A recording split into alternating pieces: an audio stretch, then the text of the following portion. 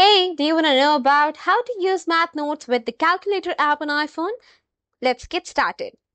Locate the Calculator app on your iPhone and swipe down from the home screen and search bar, and you can simply go to the calculator and click on that.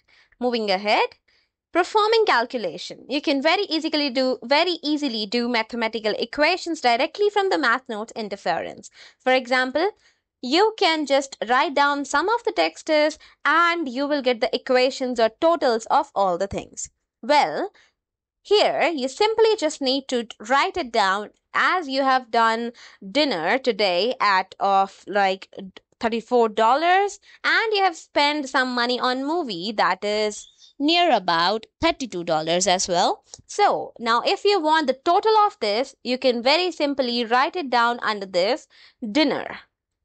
After writing down dinner, when you add the plus sign, you can automatically see the equations. But with that, you need to write down movie and put the sign of equal. As you can see, it will automatically done and you can very easily do the equations. Well, saving and managing notes. Once you have completed a calculation to the top, bottom you can write it down to save and the and it will automatically save to your notes. To manage previous notes to uh, uh, tap back to the access list of the math notes and you can very easily do edit pin lock or delete all the things